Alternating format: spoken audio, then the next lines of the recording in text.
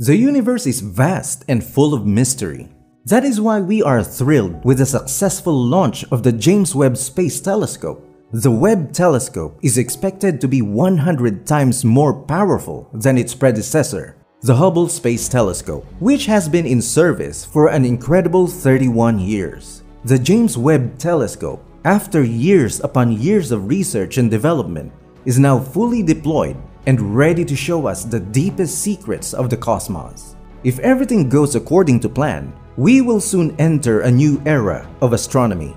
The James Webb Space Telescope, the largest and most expensive and complex space telescope ever built, is now in space, heading to its final destination. Webb is currently located roughly 1 million kilometers away at Lagrange Point 2. It is the world's largest and most powerful space telescope. So what strange objects did the James Webb Telescope capture? How will this telescope alter our perceptions of the universe? And how will technology show humanity something we've never seen before or imagined? This will be covered in today's video.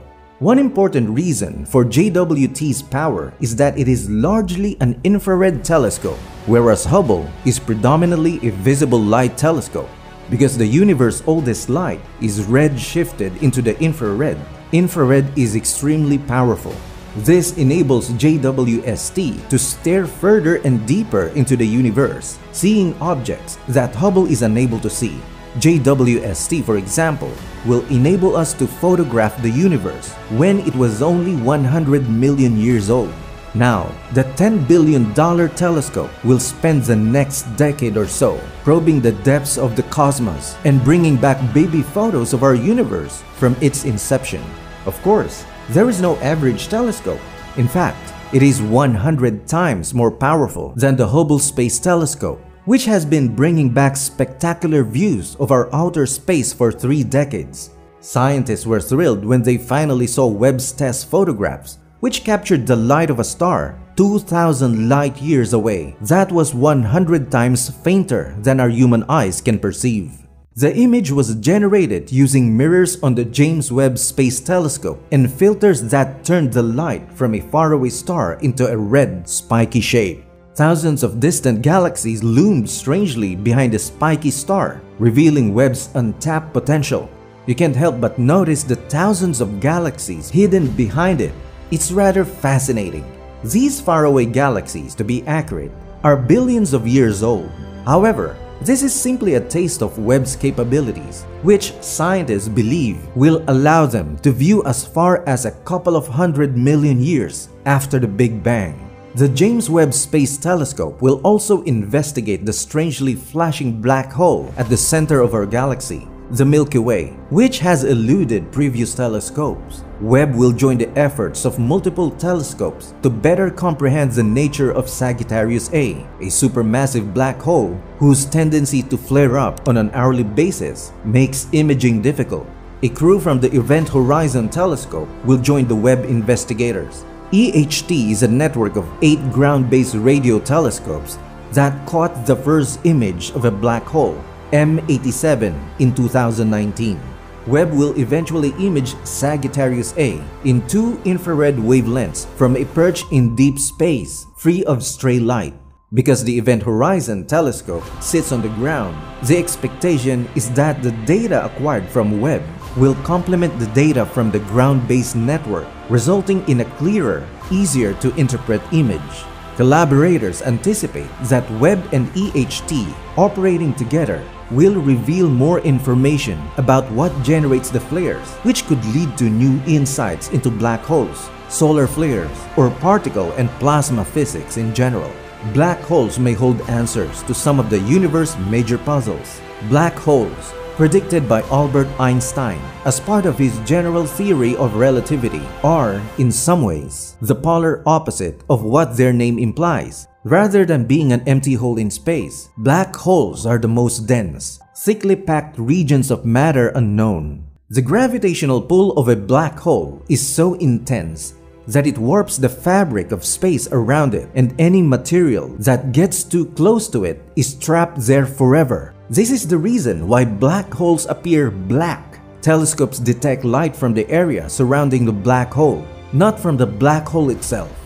The event horizon is the term given by scientists to the ultimate inner border of that light.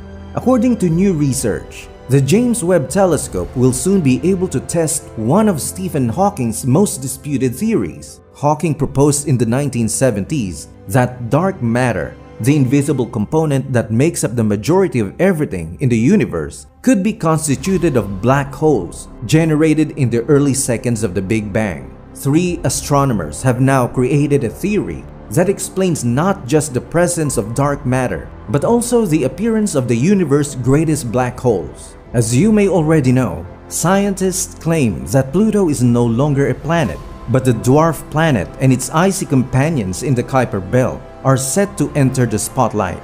One of the first tasks of the James Webb Space Telescope this year will be to examine Pluto and some of the thousands of other astronomical objects in the Kuiper Belt, a region of our solar system beyond Neptune's orbit.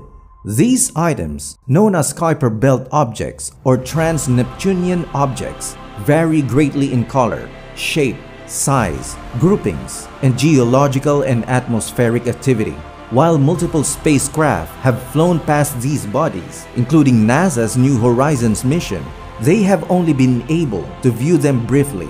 Scientists will be able to analyze the objects for a longer amount of time because of Webb's sensitive infrared cameras. We'll be able to gather information about surface chemistry from Webb which could help us figure out why there are so many diverse populations in the Kuiper Belt.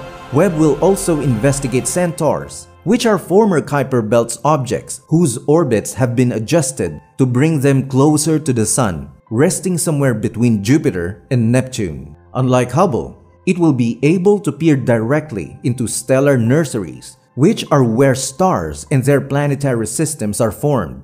The observations will provide answers to questions regarding how dust and gas clouds collapse to generate stars and how planetary systems form around them. The birthplaces of stars are dusty. While they make for stunning photographs, the dust prevents scientists from seeing deep into the heart of these clouds when viewed with visible light.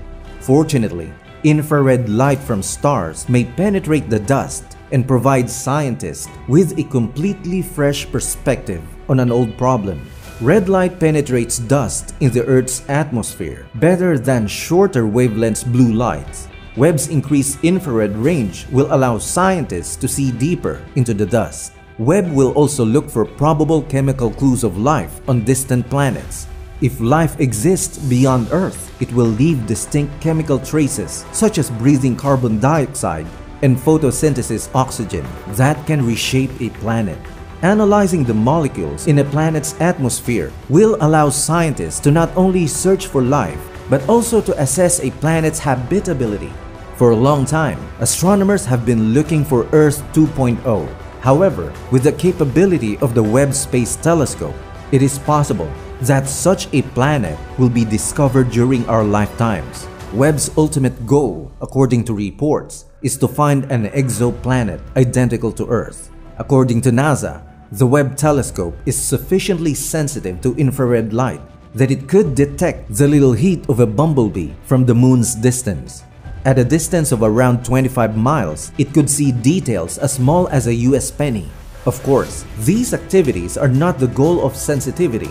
In practice, it will enable scientists to compare the earliest galaxies to the most recent ones, providing a more complete picture of how they evolved and maybe answering some long-standing concerns about the early cosmos. The James Webb Space Telescope, as the flagship successor to the Hubble Space Telescope, will provide astronomy with wave after wave of discoveries. It is hoped that it would not only reveal the chemical composition of numerous extraterrestrial worlds suspected of harboring life, but will also expose the conditions of the very early universe in ways we have only imagined. Webb will be the first of its kind in terms of size, sensitivity, and wavelength range combined.